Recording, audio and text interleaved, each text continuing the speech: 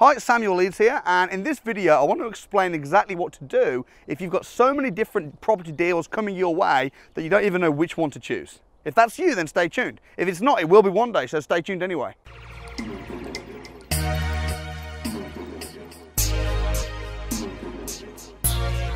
So people that say they've got too many deals to choose from, they're either lying to look really cool or they genuinely have got so many deals to choose from if they really have got too many deals to choose from, they're either going to be starting out and they've only got a little bit of money, they don't know where to put it, or they've been going for a while and they're just getting deal after deal after deal and they can't keep up with the finance of it. And it's like, I mean, you know, you can't buy everything good.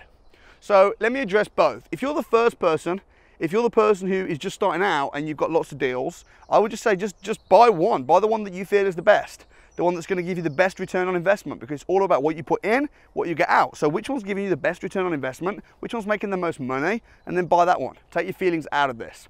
If you're person two, whereby you've been going a while, you've got some good investments, you've got some good experience, and you're just finding loads and loads of good deals, firstly, congratulations. That's a brilliant problem to have. What I would suggest is, if that's you, then that's maybe it's time to start thinking about raising finance, Maybe it's time to start thinking about joint venturing, and maybe it's time to start thinking about deal sourcing and packaging for other investors.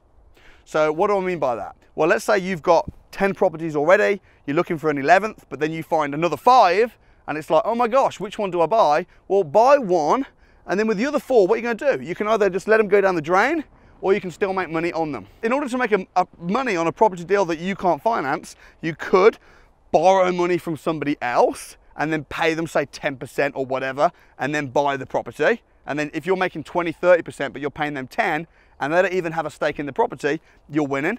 Number two, you can joint venture. You can find somebody who's got the money, but you've got the experience and the expertise and you say, let's team up. You put the money in, I'll put my expertise in, we go 50-50 on the profits.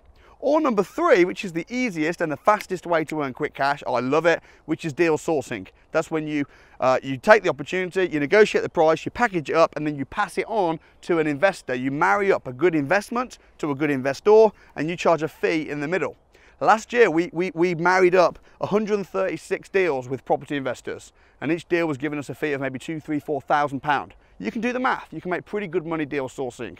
There are, um, you know, you do need to be good. You do need to know what you're doing. You need to be compliant, but it's definitely something I'd consider if you're finding lots of deals. So don't stop. Keep doing what you're doing. And if you're struggling getting your first deal, then just stay focused. Don't worry about all this stuff. But uh, anyway, check out the rest of my videos. I hope you find them useful. Please do comment, share, subscribe, like, and I hope to meet you in person one day. God bless. Thank you so much for watching. If you benefited from that video, please do share it with your family and friends. For more videos like it, you can watch right here.